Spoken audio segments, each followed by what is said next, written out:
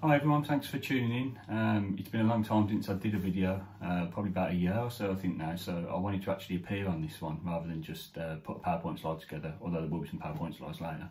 Um, so yeah, thanks for tuning in again, hope you're all well. Um, I've been doing a lot of work over the last year on draw betting. Now, if any of you have watched my previous videos, you'll know that draw betting is one of my favourite things to, to bet on, um, and it's turned into the only thing that I bet on now. Um, I've done extensive research, you could say, over the last year, uh, tracking hundreds of, well, not hundreds of thousands, but thousands of games, um, looking for the variables that make it likely that a draw will occur. Um, so things like uh, the amount of goals a team will score at home, the amount of goals the opposing team will score and concede away, um, the average shots on target, the average um, expected goals figures, um, how many draws the teams have had in the last 10 games, how teams compare against teams of similar standings. So um, how a team would compare against somebody that they're close to the close to in the league, how a team will compare to somebody who's top of the league, how they'll play different different styles. Um, I've done a lot of work and I've also looked at some of the more prominent betting um, figures online for draws. So there's a couple out there. I don't really want to mention names, um, but if you type in draw betting on football into Google, you'll be sure to find one in particular who's got quite a, um, a big following and um, makes quite a lot of noise uh, in terms of promotion and stuff. And I've managed to get hold of some of his results to have a look at because really I wanted to do a bit of uh, regression analysis on it to see if I could find the variables that he was using and that this other person was using, just to see how they fitted with what I thought um, and to try and figure out why they were charging so much money to get these courses going. Um, and yeah, it made interesting, interesting reading actually. That's that's been kind of one of the enjoyable things. I quite like diving into the stats, as you probably know, and looking into data. And so I've got multiple spreadsheets that do this. Um,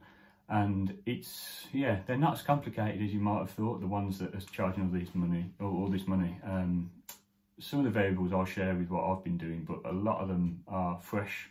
Um, and we have different different games that come up on our selections which I'm quite pleased about actually. Uh, and up until now I've been thinking oh no one's going to want to hear about my draw betting system. But you know why not? My my draw betting system I would argue is better than those. Um, and I've done a lot of work on it. Um, and I think everybody knows that I'm not out to try and scam anybody. If you can see, I've been posting videos for, for quite a while now, um, and that's just not my style.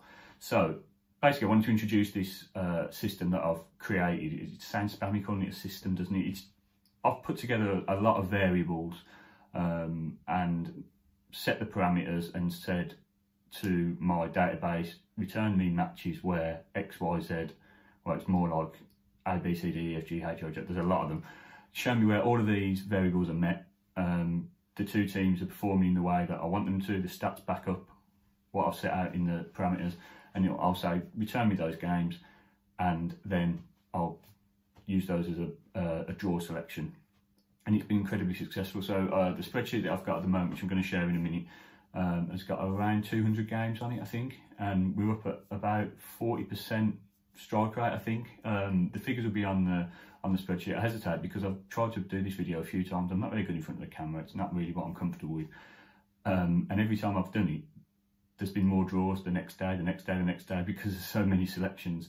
Um, the figures keep changing. So a couple of days ago, I put this together and did a spreadsheet and stuff, and the, the figures said one thing, and now there's been a few more games, so the figures say something else. Basically, around that uh, upper 30s, low 40s strike rate. Um, a really good return in terms of level stakes. Um, so yeah, I think I think once you have a look at the spreadsheet, you'll be really excited by it, and I think it's uh, hopefully going to provide you with all some some really good content. And if you do want a copy of the spreadsheet, I'm happy to provide you. Um, I'll have to do a bit of work to, to get it to you. So if you could like this video, just to let me know if it's worth my time in making it available, um, then I'm happy to do that. It's not a like this video, subscribe now so that I can, I don't know, become a YouTube star.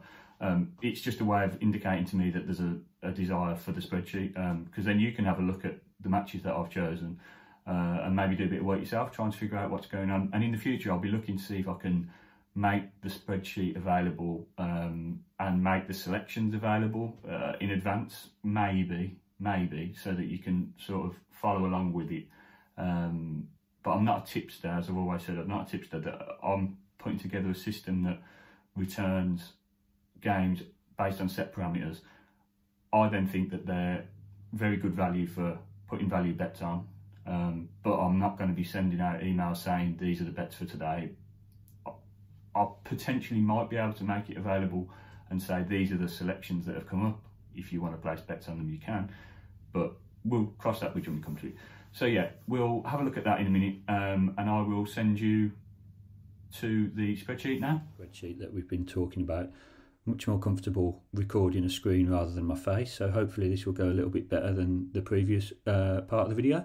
So here we can see, let's talk you through it. Pretty standard format. We've got the country, league, date of the game with the time, home and away team, what the odds for the draw are at the start of the game, what the result was, what the profit or loss was for level stakes, and then I've split it out. Actually, we don't want to look at the second part over there because I'll show that in another video. So um, we've got your level stakes results here with your profit and loss. So first game, for example, Bosnia Premier League. I'm not going to bother pronouncing them because I'm only going to offend people. The odds for the draw on this one were 2.82, fairly low actually compared to some of the odds that we get, but we still took it. The result was 1 1, so we won 1.82 profit at level stakes. So if the odds are 2.82, one point of that was um, one point of the return was your level stake. So the profit was 1.82. Um, and then over here, I've just done some calculations so that we can see what sort of uh, payout we'd be getting at different level stakes um, amounts. So if your level stake was one pound, for example, this this is going to be it. But if you decide each stake um, each point is worth two pounds, then you're going to get this amount. So you're going to get three point six three pound sixty four because that's um, one point eight two times two. It's pretty simple maths, but when I explain it, it doesn't sound simple, does it? And this is your cumulative profit here. So obviously for the first one, it's three pound sixty four. For the second game in Romania, um, actually I should mention you know the green ones are the winners. The yellow ones are games that were drawing at 85 minutes but actually ended up having a winner. So as you can see, this was 3-2. Uh, and I colour them like this because a lot of people like to cash out at 85 minutes on draws. And if you were to do that, these would be winners. So it's a way of being able to track how many extra games you would have won if you'd have employed that strategy. Um, so yeah, so the second game is in Romania League One. 3.12, so slightly better odds at the start. I've recorded it as a loss because I'm recording the 85 minute ones as losses on here. Um, so minus one point, minus two pound if you'd have done it level stakes two pound. You'd have lost ten pound if each point was uh, ten pounds, and twenty pounds if each point was twenty pounds. So as you can see, this is how the cumulative profit works. So £3.64 that we won on the first game, but then we lost two on the second game, so we're down to £1.64. And then Brazil Serie A, five five twenty. This was a great result. Um, five twenty for the draw. So we ended up at level stakes making four twenty. So eight twenty, and then as you can see, we were at one sixty four, but we won eight forty, so it's gone to ten oh four. And it's just a good way of being able to track, you know, exactly how much you've won accumulatively rather than just on each each bet. And again, at level stakes ten and twenty pounds. So you can just see where you'd be at if you did change your stakes. Because obviously, I'd always recommend starting off low um, well, if, it depends on your bank balance, doesn't it, and, and your experience and your confidence really in the system that you're using. But um, I just find it quite useful to be able to see where I'd be at at different stake levels. So as you can see, there's quite a lot of green, which is really, really encouraging. Um, as we scroll down, there's games from 72 leagues, I think, that we had. I might have trimmed it down a little bit since our last counted because I'll keep a track of the results, um, as you can see on this league tab here. I keep a track of the results and how, how they're performing in each league. Uh, and after we've had a good sample of results, I start taking some in and out if I don't think they're performing particularly well. So at the moment down here, the Scottish Championship is close to getting cold. It's only been four games so far, but they've all lost. And at the other end, Brazil, Serie five games, four draws, 9.86 level state profits, which is really good. Um, so yeah, as you can see, there's there's many different leagues. You'll notice that a lot of the leagues are a bit more obscure. So there's not many Premier League or um, Bundesliga, Spanish La Liga. There are a lot more. There are a lot smaller leagues. Um, you know, Panama, um, the sort of amateur leagues in Spain. There is a Serie A there. There are there are some dotted in and about, but I find that the draws are priced a lot more handsomely in the smaller leagues, probably because the bookies don't spend as much time looking into them and haven't got quite as much knowledge because it can be quite hard to. Uh, and also because people just don't want to see draws in these games. They're betting on them for over 2.5 goals, they're putting them in accumulators. So the prices are all going to be inflated, uh, and that's where market failure exists. So we can take advantage of that market failure by taking those value bets uh, on the draws. So yeah, as you can see, this is this is how it's been going. It's uh, two and a half weeks, or just over two weeks uh, worth of data here. It's there's a lot of games that get thrown up. I'm not saying that you would necessarily want to back each game. Um, a lot of them will take place at the same time, so a lot of people don't like having two bets running at the same time. So that would help you um, slim down your selections. But as you can see, we we don't go long before we get a win. Um, we've the most I've gone, which is funny because I took so long recording this video that I'm quite pleased though that we got a, a bad run yesterday. So if I keep scrolling down, I mean, you can see after 139 games, if you're staking £2, you'd be £118 in profit.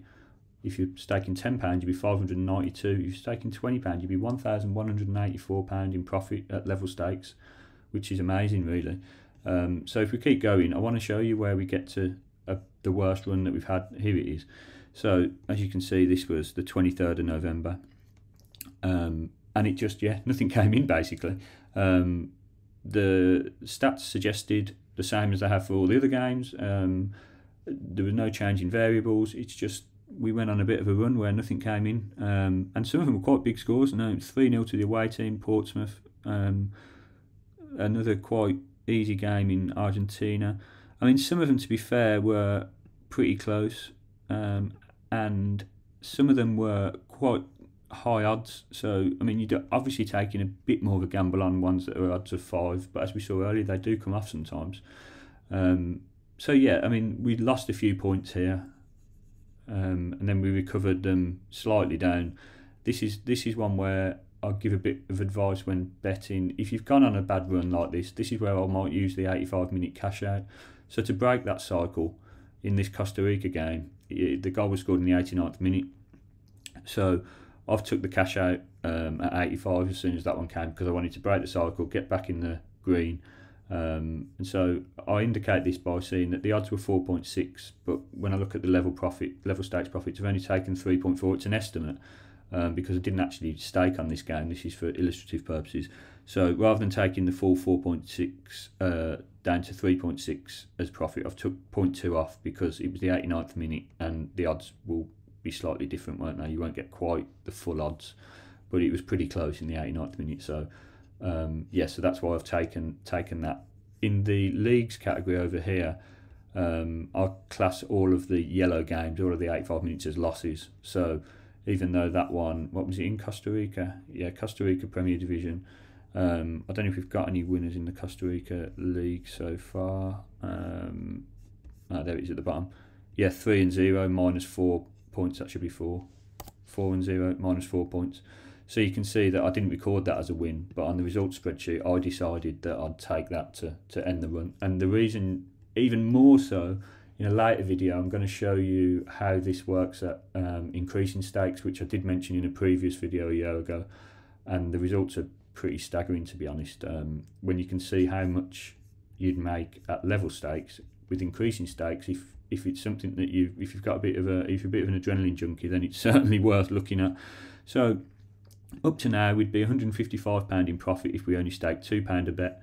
777 if we stake £10 a bet and £1,555 in profit if we stake £20 a bet and that's after what 191 games because of the, the filter at the top uh, 191 games, yeah, and just over two weeks. So, I mean, 1500 quid over two weeks is not too shoddy at all.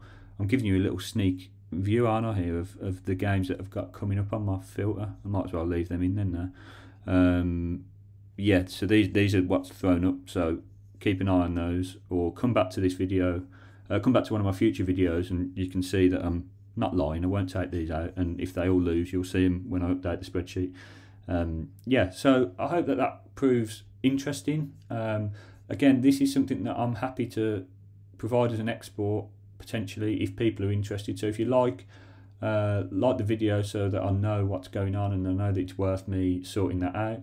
Uh, subscribe to the channel so that I can keep you up to date. I'll be, I am going to be on it now. There's going to be a lot more videos. As you can see, I've done a lot of work on this.